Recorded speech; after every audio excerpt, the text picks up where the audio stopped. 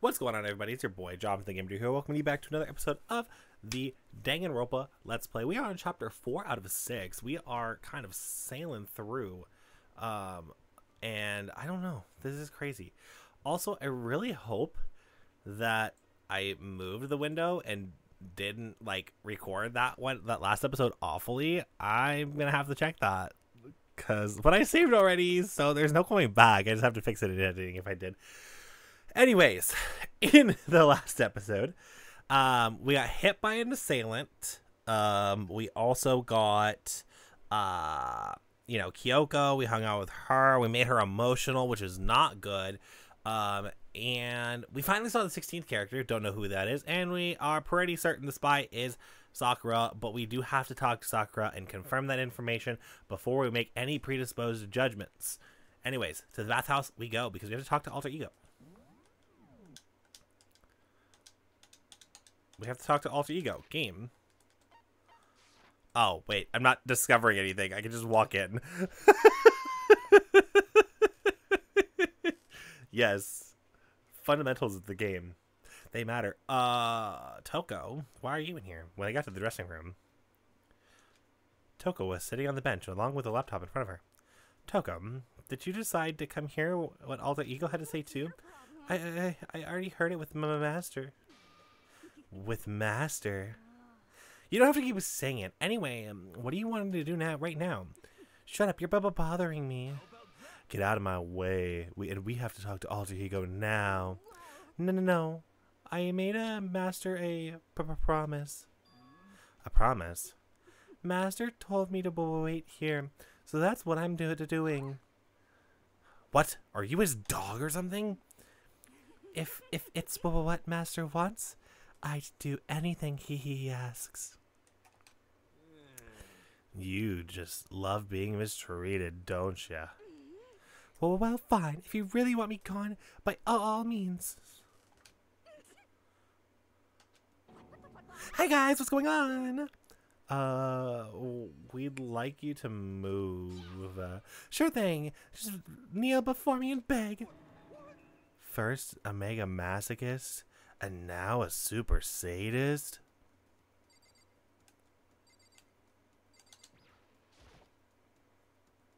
Genocide Jack is sitting in front of the laptop. I can't get to it.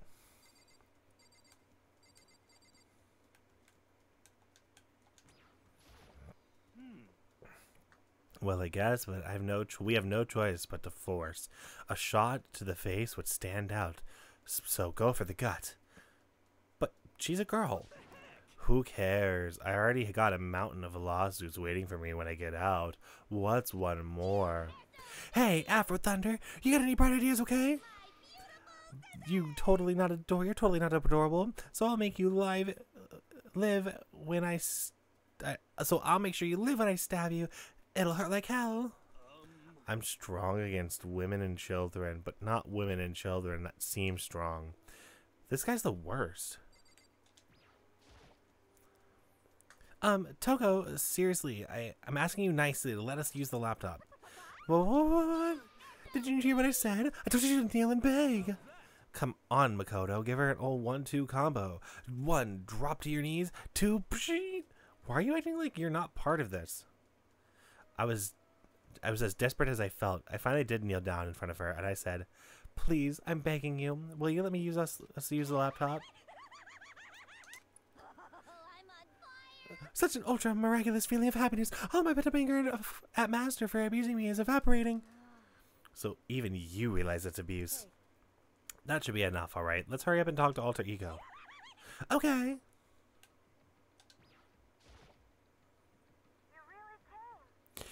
Everyone, come closer.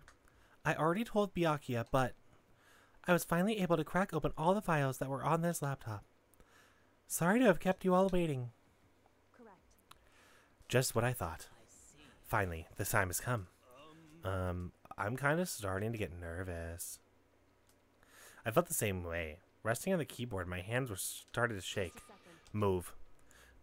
The single word was like a sharpened blade. Wounded it. I moved to the ta- let her take over. Here we go. Kyoko began can typing the words, appearing as fast as I could read them. Can you tell us what you found out? Sure. I analyzed the files and extracted all of them for the use, useful information I could find. And one particularly important fact I discovered was that a certain plan had been put into effect here to isolate the students of Hope Peak Academy and create a communal life for them. That was the stated goal of the plan. Uh, but it was meant to be more than just a normal school life.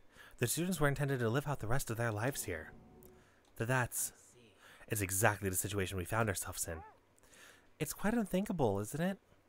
And what's more, the one who came up with the plan was none other than the administrators of Hope Peak themselves. What? Wait, hold on. Then the reason we've been imprisoned here, it wasn't the work of a psycho freak or a criminal organization or whatever. It was the school itself? That doesn't make any sense. Why would they do that? I don't think Alter Ego is finished. Perhaps we should hear the rest. It seems the reason they devised this plan was because of what happened one year ago. This is how they described that event. They said it was the biggest, most awful, most tragic event in human history. What does that mean? Yeah, what kind of name is that for something? Otherwise known as the tragedy, it appears some of sort of devastating occurrence. Because of the tragedy, Hope's Peak Academy was forced to discontinue its role as a school and close down. I see. Things are finally starting to make sense. What this means is one year ago, this thing, this tragedy, took place, and whatever it was, it forced Hope Peak, Hope's Peak to shut down. From there, they decided to use the school as some kind of staging ground. They planned to sequester the students here, where they would live out the rest of their lives. Um, but why was Hope Peak's administrators would why would Hope Peak's administrators want to shut everyone in in like this? And what could this tragic event have possibly been? In a flash, Kyoko began typing their questions into the computer, and the answer we got was, "Sorry, I don't know. That information was if that information was ever on this computer, it's gone now. I'm totally useless. I'm sorry." That's all he said.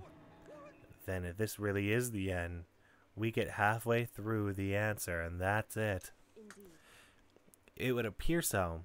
Disappointing. Oh, wait. There's one other thing I forgot to mention. I think it might be important. I believe it is what has to it has to do with the mastermind. The mastermind. Kyoko's fingers moved faster than they had so far. Did you figure out the mastermind's identity? No, that I still don't know, but I did find a clue.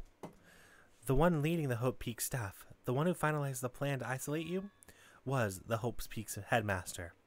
It is the same person that very well that may very well be the mastermind who planned this all out. And according to the finals or files, the headmaster is a man in his late thirties. It seems possible that even likely that he's somewhere in the school right now. Headmaster? The headmaster is here in the school? Okay. Then that's gotta be the mastermind. I mean, Monokuma's been calling himself the headmaster, right? Which makes the real headmaster that much more suspicious. But if we break the, down the door to his room, we're dead, right? So what are we supposed to do? I'll find a way. Huh? No matter what it takes, I'll I will find the headmaster. N no matter what the cost.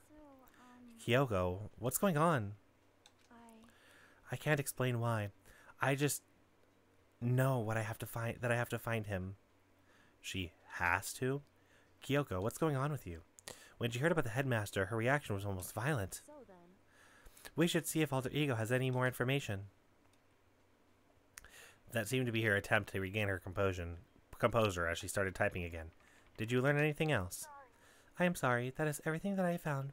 All the information on this laptop seems to be pretty old, so that's all I can do from here. I'm really sorry. Then it really is all over. Wait, Alter Ego seems to have more to say. Um, well, it's kind of a different topic, but I was wondering about something. I haven't seen Celeste, Fumi, and Taka since yesterday. A heavy silence fell across the room. The only sound was the flat, precise clicking key of keys Kyoko typed. They're all dead. What? I see. Certainly knew that there was a possibility, but it really happened. Sorry.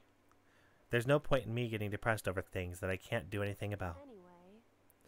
Well then, I guess that's it. That's it. That simple phrase held so much meaning.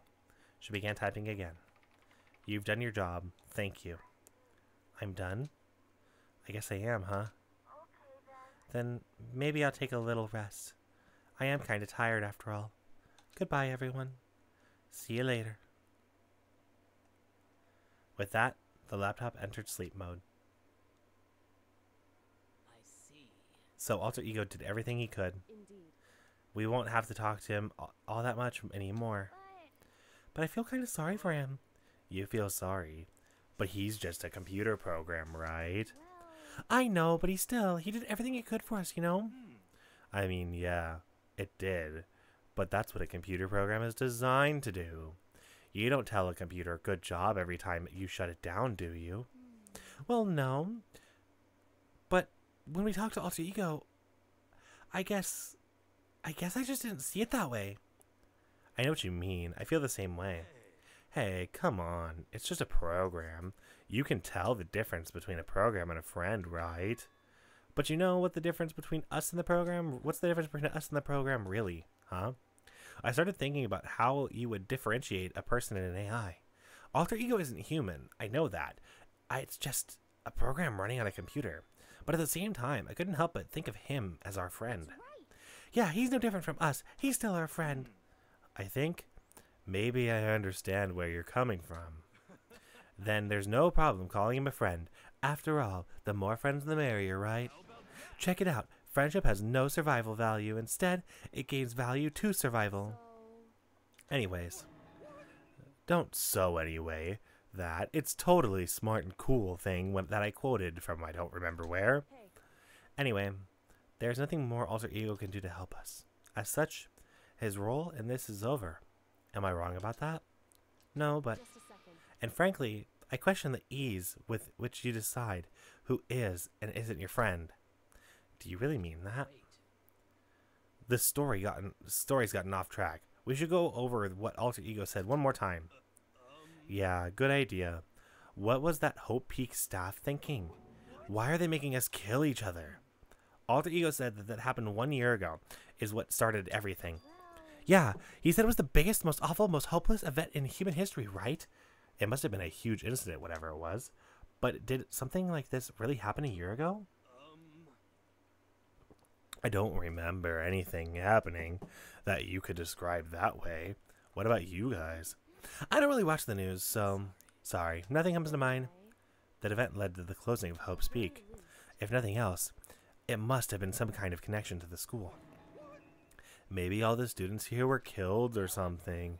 That kind of catastrophe would have been all over the news. At least one of us would remember that. Then maybe they covered it up. That would explain why none of us knew that the school had been shut down. Totally covering up something like that. I suppose it's not totally impossible.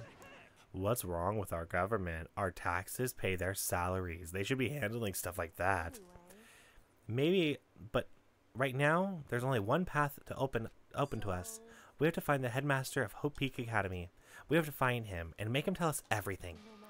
As long as we can get our hands on him, I think. Kyoko. When she said headmaster, I got that feeling again. But even that is a problem not easily solved. Yeah, you're right.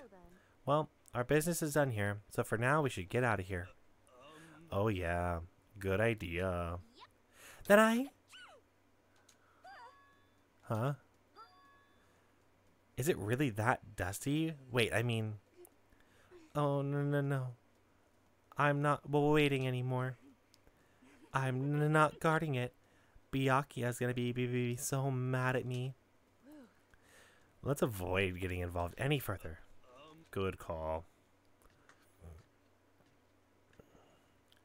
But as we left the dressing room, someone was there waiting for us. My heart is pound, pound, pounding away. It's pounding with anger. You're not so mad at the whole breaking into the headmaster's room thing, are you? Oh, that little matter doesn't matter even a little. And I'm a little jealous of you guys enjoying an incident mixed bath, but that doesn't matter either. It's building. I feel it building. My head's about to boil over with rage. Don't get so angry. Here, let me help center your chakras. Ugh, this on the walls of your brain. Okay, when you do something to me, I'll do it right back. An eye for an eye, a fang for a fang. A fang for a fang? Be careful. He just chanted the incantation of devastation. No, it's just a saying. Oh, I see. What was he talking about?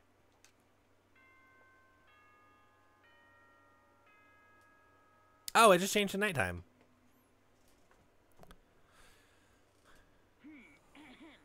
This is a school announcement. It is now 10 p.m. As such, it is officially nighttime. I saw the nighttime thing in The corner. dining hall will be locked, and entry at that point is strewn. Okay then, sweet dream. Correct. So then it's nighttime. What does everyone else want to do? Celeste was the one who suggested our nighttime rule, but she's gone now. I think we should still avoid being out at nighttime. I know it makes me feel better that way. I agree. Well, very well. In that case, time for bed. So everyone headed back to their rooms. Monokuma parting words left me feeling anxious for the rest of the night.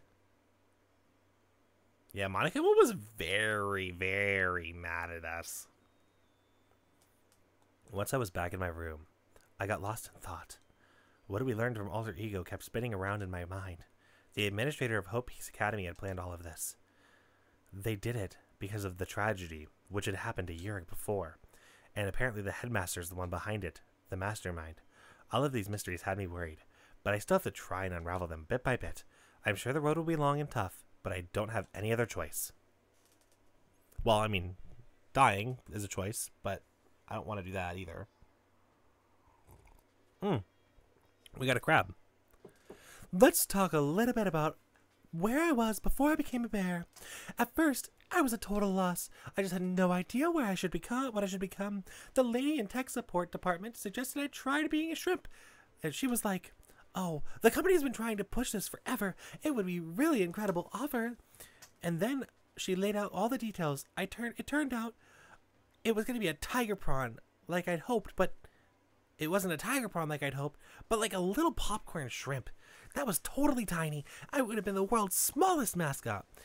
Like I like eating shrimp. I didn't want to be one myself. Plus, might someone might come along and step on me. So then the lady started laughing at me and was like, "You think you could do a tiger prawn?" She was like, "You think we can do a tiger prawn on our budget?" So ultimately, I decided to become a bear instead. The secret origin story of Monokuma.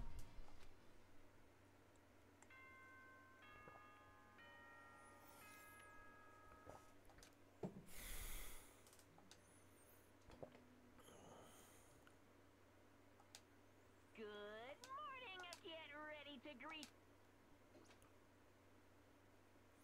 First things first, I need to head to the dining hall. Yes, we do.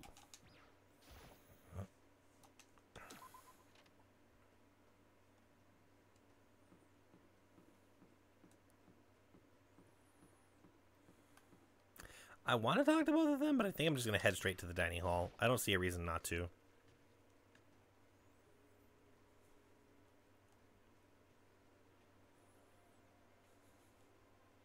As I entered the dining hall, the first thing I saw was her. What are you sis staring at? Oh, Toko. What do you think your eyes will rot by looking at me? Fine, then don't look at me. I think he's just surprised to see you here at the breakfast meeting after all. Indeed, it's been quite a while since you've joined us. Yeah, what made you change your mind? Byakuya said he l- likes girls who have some m- meat on their bones. So, I'm gonna s- s- start eating and force it d- d- down into my stomach. I'm gonna eat till I d- d- drop. I refuse to l- lose. I wouldn't do that if I were you. Well, other than that, it looks like Kyoko isn't here. Oh, she said she'd come by later. Later? Yeah, after you leave. She's not even trying to hide it anymore. I know I said she wanted I know I said she wanted you to show some backbone, but you didn't need to show her that much.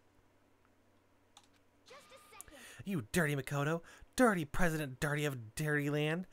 You don't understand. You're the type who takes the stairs of love three steps at a time, aren't you? I'm telling you, it's not like that. Did you just shut up already, Hina. You've been running your filthy mouth like that all morning.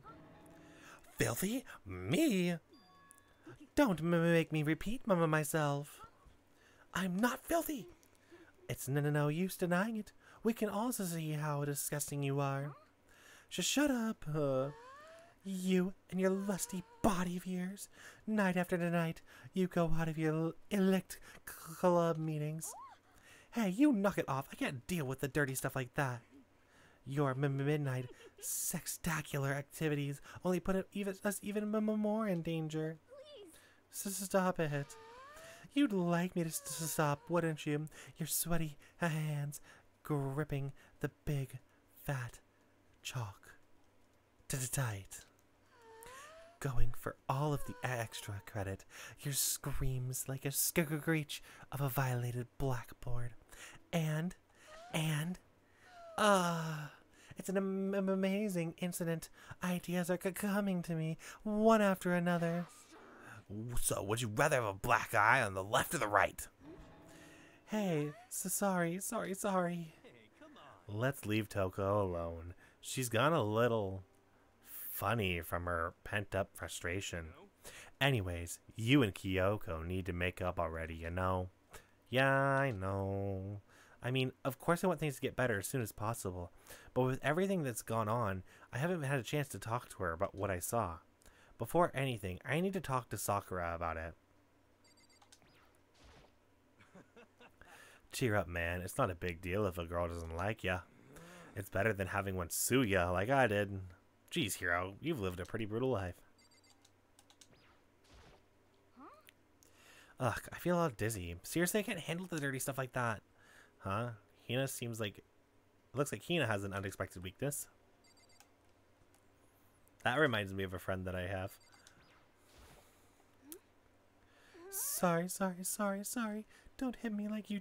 don't hit me, don't hit me, don't hit me, don't hit me. If you want to hit something, hit Master. Please hit him. Oh, please, please. And let me watch you hit him.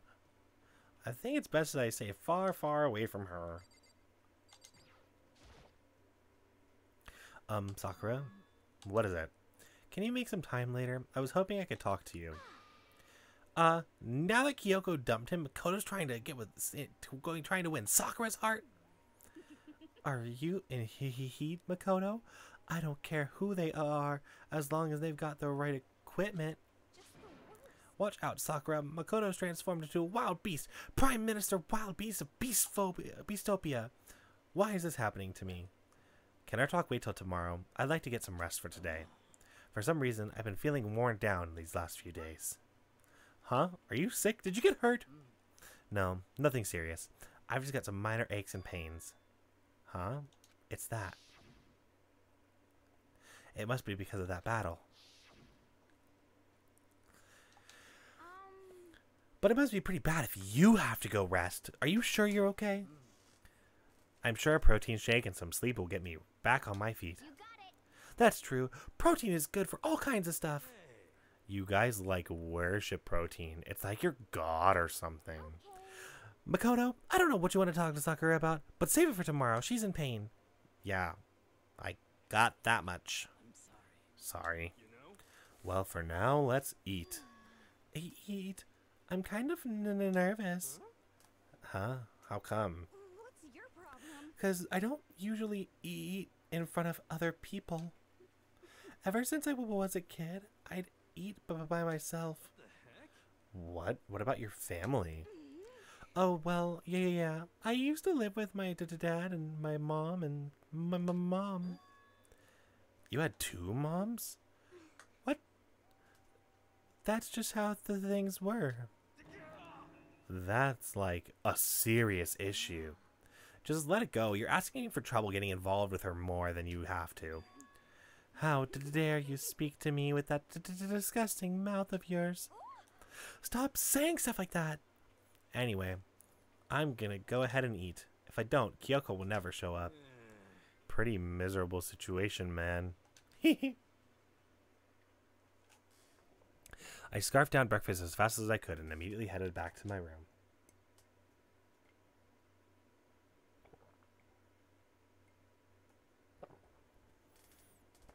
Oh, wow.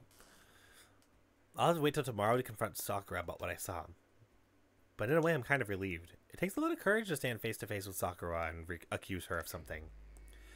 Free time! We got here faster than I expected to get here. Like, I actually, my goal was to get just to the free time section. But the fact that we can actually do one of the free times is really nice. I'm assuming they're all going to be on the fourth floor because, per usual, they're typically on all on the top, the highest floor that I can reach. So I'm just going to automatically check the fourth floor.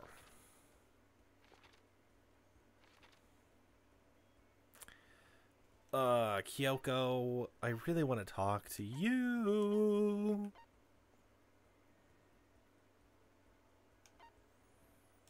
It's weird that there's only six left besides myself. Where's Sakura?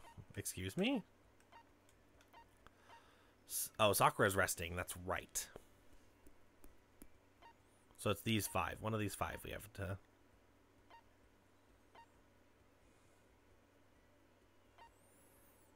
Hmm.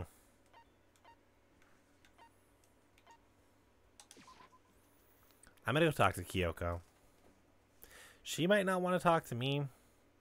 And if she doesn't, that's completely understandable. As much as that would be completely unfortunate. Kyoko. It said you were over here.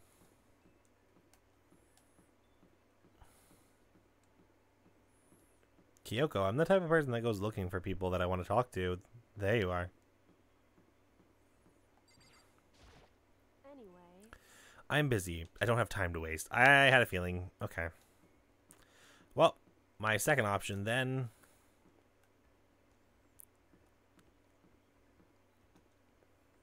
If I can get my directions straight.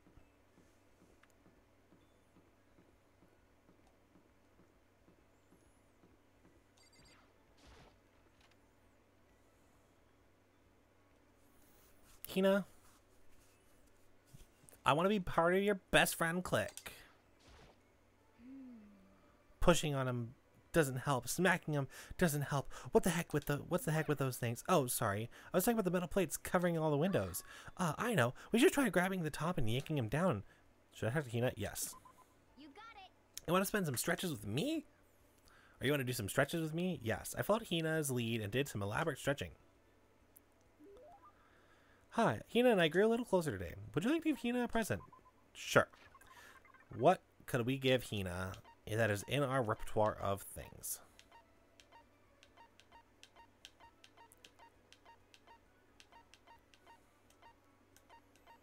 Hmm. Leaf covering. The pants. I want to know what the pants are.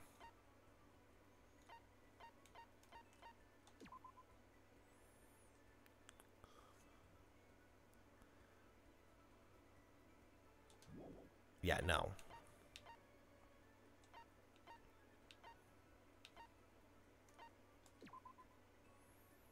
Designed solely for those who want to control, who in control of their buttocks. For better or worse, it's unis- unisex. That's almost worse.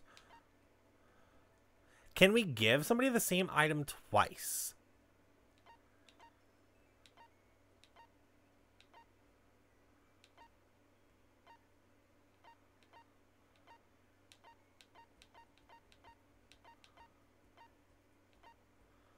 That's a very good question.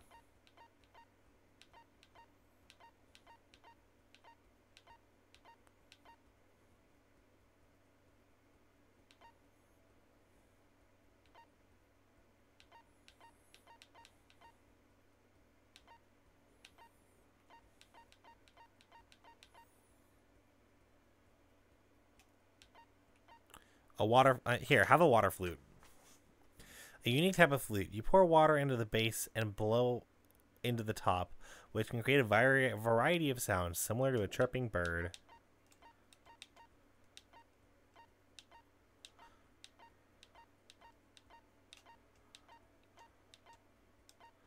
Yeah, how about that?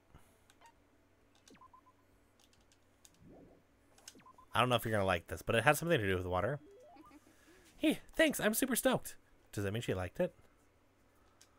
Is something wrong, Hina? I've reached I've reached my limit. I'm stuck in here. I can't do any sports. Can't do anything. I'm sick of it. I want to get out under the sun and do some laps. Run a marathon. I want to do real sports. Hina, calm down, okay? I can't do anything in here. I can't move around. I'm gonna die like a bunny rabbit. But I've always heard rabbits die from loneliness. Whatever. If I'm gonna die, I'm gonna die if I can't get some proper physical activity. Don't you think that's a little extreme? You think I'm kidding, don't you? But seriously, I can't sit still, you know. Why else would I have? Why else would I have joined six sport teams in school? Six. Yeah, track, base, basketball, softball, volleyball, tennis, and the big one. The big one. She got to her main sport and ran out of juice. But I think that's gonna be swimming. Your main sport's swimming, right? Yeah, you got it.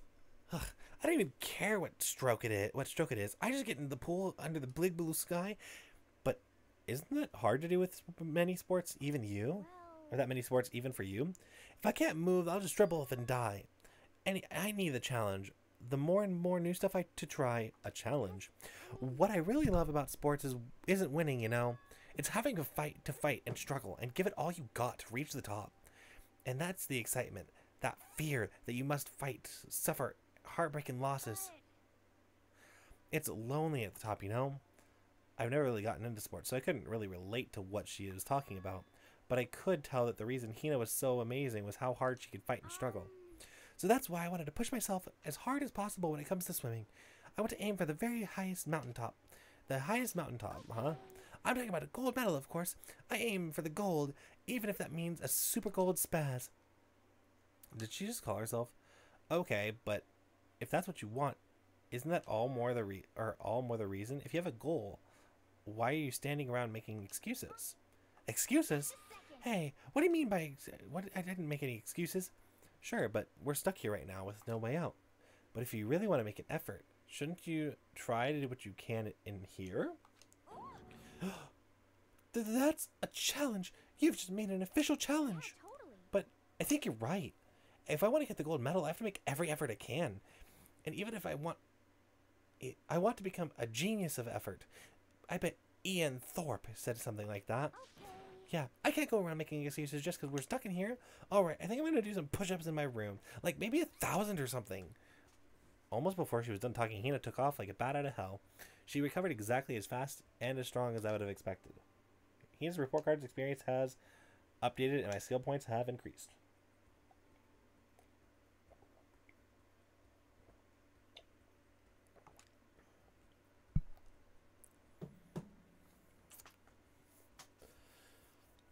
Well, honestly, I think this is a pretty good time to end it. Thank you guys so much for watching. Um, in the next episode, we're going to finish up the free time section and do a, couple of other things, but sounds like we're in free time mode. So we are in a very interesting mode for this chapter. Um, we will see you guys in the next episode when we figure out what the heck is going on, because I doubt this chapter is this short. Anyway, love you all. Bye.